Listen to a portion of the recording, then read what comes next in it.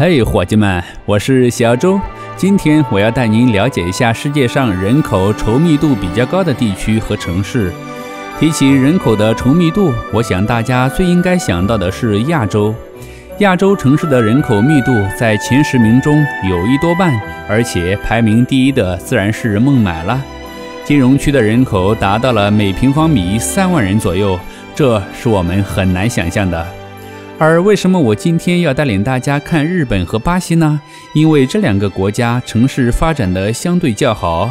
日本是发达国家，而巴西是跟我们一样发展中国家，所以既有差距又有对比，能够更加深入地探讨各国城市发展的水平。首先，咱们来看一下日本东京附近。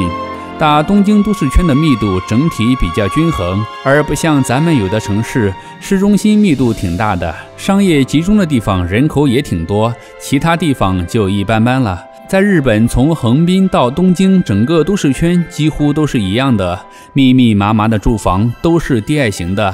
不知道为什么，在日本，假如看地图的话，城市住房的密度好像远远大于任何一个城市。但在人口密度排行榜上，前二十名根本就没有东京，并且在东京旅游感受不到如此强烈的冲击。分析原因，可能是日本的工业用地比较少的缘故，几乎都是住房和城市功能性的建筑。而咱们即便是市中心，都很有可能存在小工厂或者生产场所，这也是为什么咱们的城市看起来比较乱的原因之一。其实大多数都已经住在小高层或者小区里了，只是缺少科学的规划而已。您看看吧，东京这范围从外到里百公里以上都差不多，根本就没有太大的区别。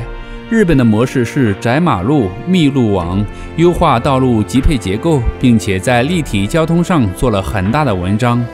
东京的地铁还能说什么呢？跟咱们地上的道路一样密集，并且规划得相对合理，所以日本大堵车不会出现太多。东京是全世界学习的榜样，特别是在解决人口密度和生活舒适度的问题上有借鉴之处。而巴西呢？巴西人口密集的区域主要集中分布在圣保罗和里约热内卢，而圣保罗的模式很清晰，就是小高层铺开了建设，在高楼的数量和密度上世界第一。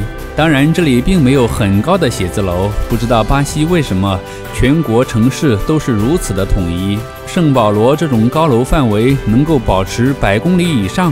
整个城市一千七百多平方公里，比咱们的上海一千五百多平方公里还要大，可以说扩张的非常惊人。圣保罗是南美第一大城市，世界上没有哪个城市有圣保罗的高楼面积大。但仅仅论高度的话，那就差太多了。圣保罗全部是这种不高不低的，所以看上去整体比较美观，也比较壮观。这种模式为什么会在圣保罗出现呢？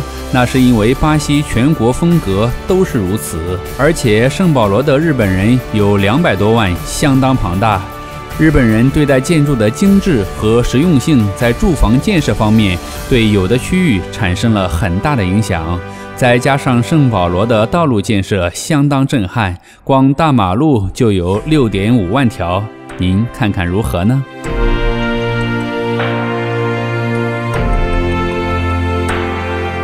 咱们再来看一下人口密度较大的上海。上海的人口密度大，但模式不同。咱们国家发展小高层比较多。小区建设的又很快，并且都是选择地理位置较好的地方建设开发的，而一些相对薄弱的地方根本就没有在考虑范围之内，所以呈现一种选择性的繁荣，或者也可以叫它为选择性的集中地。但您根据自己来到上海的亲身感受，很客观的讲，均衡性如何呢？这和孟买很像。您看看孟买的密度非常吓人，这些地方都是房子拥挤在一起的，所以印度应该是最糟糕的。亚洲发展的比较均衡的、比较好的是日本。无论咱们喜欢不喜欢这个国家，他们的城市建设都有值得咱们学习的地方。您觉得呢？好了，这就是本期的所有内容啦。我是你们的老弟小周，咱们下期不见不散。